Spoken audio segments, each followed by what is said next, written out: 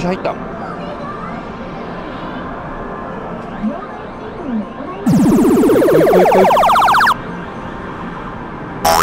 ブラン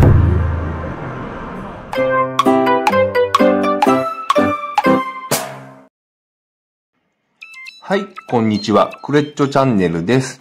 えー本日は、えーこの前のライブ配信の切り抜きを解説していこうと思います。でえーまずは、えー両替からですね。あの、クレッチョ大体いつも、あの、小銭は全て使ってしまうので、まず千円札から両替という形になることが多いです。はい、そして両替を終え、こちらの台でですね、えっ、と、白ですね。こちらは、クレヨンしんちゃんの、えー新作の映画のですかね、白を狙っていこうと思うのですが、こちらちょうどいいところにタグが見えているので、まずそれをちょっと狙っていきましょう。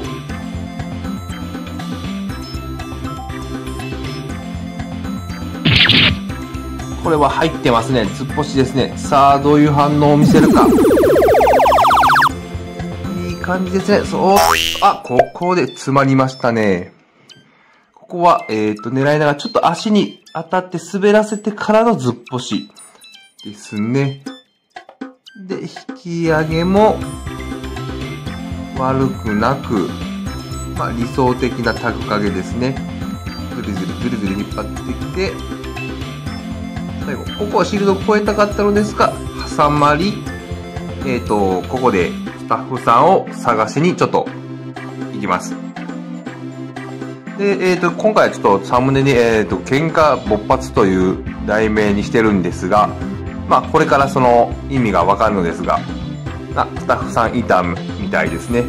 で、こちらで、えっ、と、お話ししてると、これはゲットですかと聞くと、これはちょっとと言われて、あの、景品を触って戻そうとしたんですね。この戻し方がちょっとどこに戻そうかしたのかちょっとわからないんですけど、まあ、この状態で下手に触られて、まあ、えっ、と、シールドにはおそらく載せてはくれると思うんですが、えー、フィニッシュが、まあ、ミスったりすることもあると思うので、まあ、それだったらもう、いや、いいです、触らなくてそのままでいいですっていうことで、今、押しをして、また引っかかったんですけど、その際は今度はまた違うスタッフさんですね。あの、まあ、生き慣れてるので、あの、ちょっと優しめのスタッフさんを知っているので、その方に言ったら、まあ、ゲット判定をいただいたという形になります。あの、さっきの差しで、さらにシールドより下に行ってたっていうところも、まあ、ゲット判定をくれたっていうところもあるとは思うんですが、はい、白をゲットですね。まあ、黒、クレッチョ的には、あの、無、なんていうんですかね、あの、ガラスっていうんですかね。えっ、と、本来であればシール、あの、取り出し口が大きければ、あそこには引っかかることはないので、まあ、取り出し口が小さいから引っかかってしまった。っていう風に、まあ、認識するので、奥側、奥側、まあ、これのしんちゃんで言うと左側のガラスですね。あそこに引っかかる分は、まあ、ちょっと相談してみようかなっていう気持ちになります。まあ、人それぞれ、あの、あるとは思うんで、それはその方のさじ加減で、ちょっとスタッフさんに相談してみるのはいいかなと思います。で、こちらは、えっ、と、そのですね、その、えっ、と、白の相方のクレヨンしんちゃんですね。2種取っていこうと思います。で、えー今、服のところを狙ったのですが、顔が完全に縫われていたので、えー引っ掛けれずですね。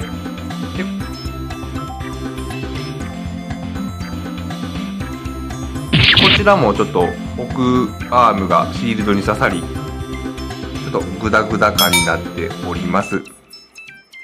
で、えー次は、えっ、と、しっかり3本で掴んでいこうかなと思いますが、パワーはどうなんでしょう？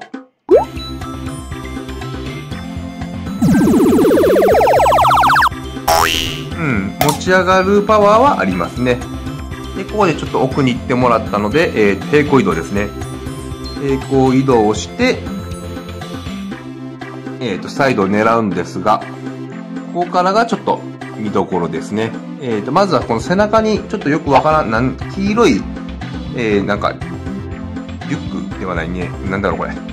をしているので、そこの間に、ぶっ刺してみようかなと狙っております。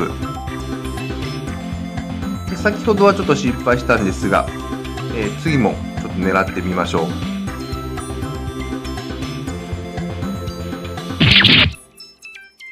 どうでしょうか？